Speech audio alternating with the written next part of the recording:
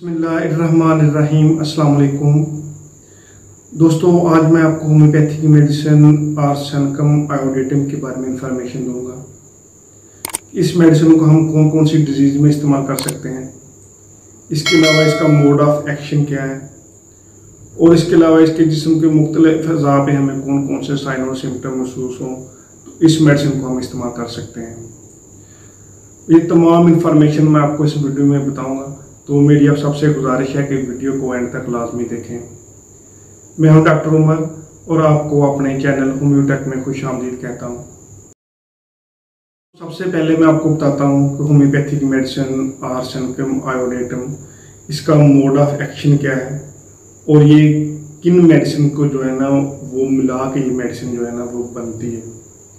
तो ये medicine arsenicum album plus iodide जो है ना इन दोनों को जो मिला के ये मेडिसिन जो है ना वो आर्सन कम आयोडेटम जो है ना वो तैयार की जाती है। और इस मेडिसिन का जो मोड ऑफ़ एक्शन है, वो ये हमारे जो नाक की म्यूकस मेम्ब्रेन होती है, उसके साथ साथ जो हमारे ईयर्स की म्यूकस मेम्ब्रेन होती है, इसके ऊपर ये बहुत ही अच्छा वर्क करती है। यानी ये हमारे जो जस्ट के अपर पार्ट की जितनी भी म्यूकस मेम्ब्रेन है, हमारे रेस्पिरेटरी ट्रैक की, इस पर बहुत ही अच्छा वर्क करती है। और अगर इससे रिलेटेड किसी को सर्दी के मौसम में बहुत ही ज़्यादा जो है ना, एक नाक से क्रोजार लाइक सिम्टम देखने में आ रहा हो, या फिर किसी को बहुत ही शदीद सर्दी में सनीजन का सिम्टम देखने में आ रहा हो, एक छींकों का सिम्टम देखने में आ रहा हो उसके साथ साथ अगर किसी को शदीद सर्दी की वजह से फ्रंटल हेड का सिम्टम जो है ना वो देखने में आ रहा हो और उसमें एक येलोइश जो है ना वो स्पूटम बलगम वो उसका खराज होता हो और पेशेंट बहुत ही ज़्यादा वीक जो है ना वो महसूस करे और उनसे जो एक शाम के टाइम जो है ना एक हल्का फीवर्स जो है तरह का एहसास पेशेंट को होता हो ऐसी कंडीशन में ये मेडिसिन बहुत ही अच्छा वर्क है। बताता हूँ कि जिसम के मुख्तलिफ़ अज़ा पे इस मेडिसिन के कौन से साइन और सिम्टम महसूस हों तो इस मेडिसिन को हम इस्तेमाल कर सकते हैं। उसके बाद मैं आपको बताऊँगा कि इस मेडिसिन को हम कौन कौन सी डिज़ीज़ में इस्तेमाल कर सकते हैं। फिर मैं आपको इस मेडिसिन को लेने का तरीका बताऊँगा। तो सबसे पहले अगर हम हेड की सिम्टम की बात करें तो ऐसे पेशेंट जिनको बहुत ही ज़्यादा जो है ना एक चिली पेशेंट होते हैं उनको एक सर्दी जो है ना बहुत ही शदीद जो है ना वो महसूस होती है। और उनके जो हेड होता है वो फ्रंटल हेड पे जो हेडेक जो है ना उसका सिम्टम देखने में आता हो। और पेशेंट जो है ना वो बहुत ही ज़्यादा चिली महसूस करे तो ऐसे केस में ये मेडिसिन बहुत ही अच्छा वर्क करता है। इसकी सिम्टम की बात करें तो ऐसे पेशेंट जिनको एक लंबे अरसे से जो है ना, एक स्नीजिंग का सिम्टम जो है ना, वो आ रहा हो। उसके साथ साथ जो आँखें हैं, उनसे जो है ना, आई से बहुत ही ज़्यादा एक वाटरी डिस्चार्ज जो है ना, वो पेशेंट को वो देखने में आ रहा हो। और उसमें शदीद चुभन हो, और जो पानी की फॉर्मेशन है, वो बहुत ही ज़्यादा एक्रेड हो। तो ऐसे केस में ये मेडिसिन बहुत ही अच्छा वर्क करती है। हमारे जो मौत के सिम्टम की तरफ़ आ जाएँ तो जो पेशेंट होता है, उसको जो स्पूटम होती है, उसकी जो, उसमें एक येलोविश जो है ना, वो कलर देखने में आता है। जैसा कि अक्सर का जो ट्यूबरक्लोसिस के पेशेंट होते हैं, उनका जो स्पूटम का कलर होता है, एक इन्फेक्शन की जिस तरह के सिम्टम होते हैं, उस तरह का एक सिम्टम ना, वो पेशेंट को स्पूटम जो स्पूटम है, उसमें देखने में मिलता है। उसके साथ साथ जो पेशेंट है, उसको रात को जो है ना, एक फीवरस जो है ना हालत पेशेंट की वो होती है। पेशेंट बहुत ही ज़्यादा डायबिलिटी होती है और एक वीकनेस जो है ना शाम के वक्त और एक फीवर का सिम्टम जो है ना वो पेशेंट में देखने में आता है। तो अगर किसी को लंबे अरसे से स्नीजे का सिम्टम चल रहा है, उसके साथ साथ पेशेंट को जो है ना एक एलर्जिक राइनाइटिस का इशू देखने में आ रहा है यानी और उसके साथ साथ जो पेशेंट है उसमें एक फीवरस जो है ना उसकी कंडीशन देखने में आ रही है। तो इस कैसे केस में ये मेडिसिन आर्सेनकम आयोडाइड बहुत ही अच्छा वर्क करती है। तो ऐसे पेशेंट जिनको बहुत ही लंबे अरसे से नोक से जो है ना एक कुराइजा उसकी फॉर्मेशन जो है ना वो हो रही हो। और उस कुराइजे में वो बहुत ज़्यादा जो है ना एक एक्रेड फॉर्मेशन जो है ना वो देखने में आती हो।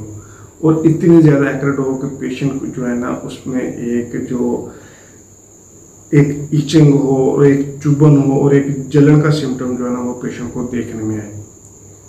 तो ऐसे केस में भी ये मेडिसिन आर्सन का मायोडाइटम जो है ना जो एक कुराइजा एक्रेड कुराइजा है, बहुत ही अच्छा वर्क करती है। इनकी जो है ना वो बात करें तो ऐसे पेशेंट जिनको एक लंबे अरसे से जो है ना, एक क्रोनिक जो है ना लेकिन प्लेनस का इशू देखने में आ रहा हो, या फिर किसी को स्वाइसिस का इशू देखने में आ रहा हो।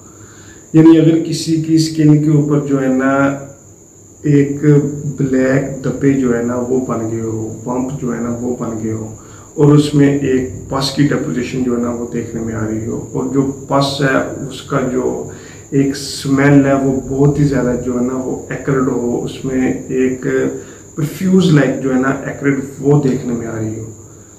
तो उसके साथ साथ अगर किसी को एक क्रोनिक एक्जिमा देखने में आ रहा हो, यानी अगर किसी को स्किन के ऊपर एरप्शन हैं और उनके जो एरप्शन हैं या किनको स्किन के ऊपर लेकिन प्लेनस का इशू है, उसमें पस की डिपोजिशन हो गई हो और जो पस की फॉर्मेशन हो रही हो, उसमें बहुत ज़्यादा स्मेल देखने में आती हो।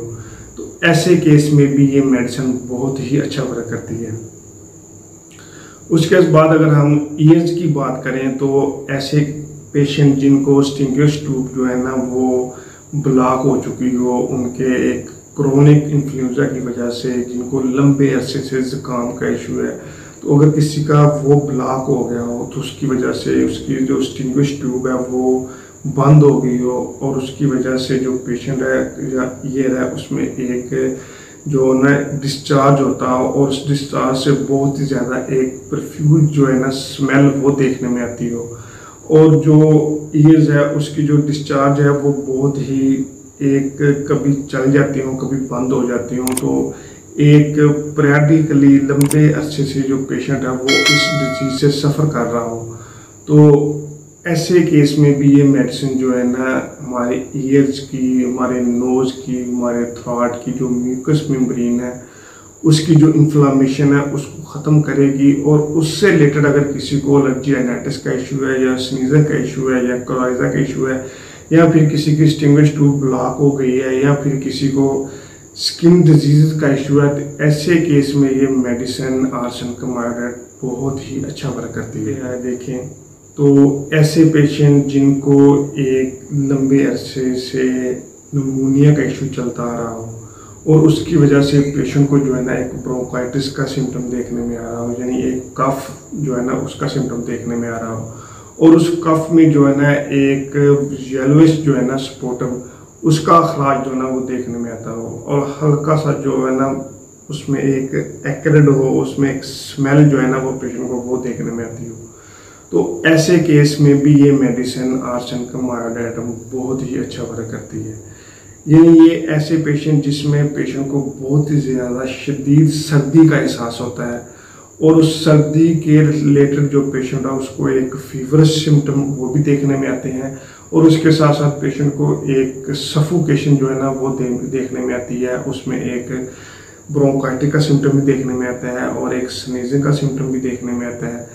तो ये तमाम सिम्टम जो हमारे अपर जो रिस्पायरेटरी ट्रैक है, इसकी जो म्यूकस मेम्ब्रेन है, उससे रिलेटेड जो अगर पेशेंट को, अगर किसी को नाक से जो है ना एक कोराइजा का सिम्टम देखने में आ रहा हो, या फिर किसी को ईयर से अथोरिया का सिम्टम देखने में आ रहा हो, या फिर किसी को चेस्ट पे ब्रोंकाइटिस का सिम्टम देखने में आ रहा हो तो अगर किसी को फ्रंटल हेड पे जो है ना एक हेड का सिम्टम देखने में आ रहा हो तो ऐसे तमाम केसेस में ये मेडिसिन बहुत ही अच्छा वर्क करती है। तो आइए अब हम देखते हैं कि होम्योपैथिक मेडिसिन आर्सन कम आयोडर इसे हम कौन कौन सी डिज़ीज़ में इस्तेमाल कर सकते हैं? तो मैंने आपसे पहले ही बताया कि ये हमारी अपर रिस्पायरेटरी ट्रैक की जो म्यूकस मेम्ब्रेन है, इस पर बहुत ही अच्छा वर्क करती है। तो ये अथोरिया के केस में भी हम इसको इस्तेमाल कर सकते हैं जो बहुत ही अच्छा वर्क करती है। उसके बाद अगर ऐसा हम देखें तो ये ब्रोंकाइटिस के केस में भी बहुत ही अच्छा वर्क करती है। फीवर्स के केस में भी और ट्यूबरक्लोसिस के केस में भी ये मेडिसिन बहुत ही अच्छा वर्क करती है।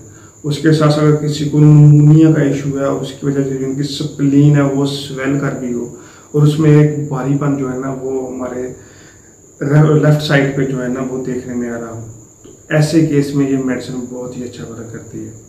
उसके साथ साथ ये लेकिन प्लेनस के केस में भी और एक्जिमा के केस में भी ये मेडिसिन जो है ना, हम इस्तेमाल कर सकते हैं। तो ये मेडिसिन बहुत ही अच्छा वर्क इंडाइजेशन में भी इस्तेमाल कर सकते हैं या फिर ऐसे पेशेंट जिनके जो लिम्फ नोड हैं, जिनको लिम्फनाइडोपैथी का इशू हो गया हो तो ऐसे केस में भी ये मेडिसिन इन्फेक्शन को ख़त्म करेगी और उससे रिलेटेड किसी के लिम्फ नोड जो है ना वो स्वेल कर गए हों तो उसको बहुत ही अच्छे तरीके से क्योर करें। देखते हैं कि इस मेडिसिन को हम कौन सी पोटेंसी में इस्तेमाल करें तो ये बहुत ही अच्छा रिज़ल्ट देती है।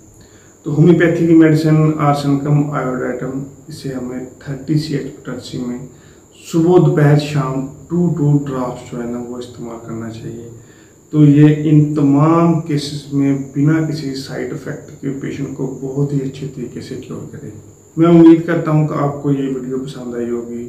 कैसी लगी है ये मेरी वीडियो आप वीडियो के कमेंट बॉक्स में जाके बता सकते हैं। अगर किसी की कोई क्वेरी है तो वो मेरे से दिए गए नंबर पे मैसेज कर सकता है। मैं कोशिश करूँगा कि उसको, उसकी डिज़ीज़ से रिलेटेड जो ना, वो मेडिसिन बता सकूँ। थैंक यू अल्लाह हाफिज़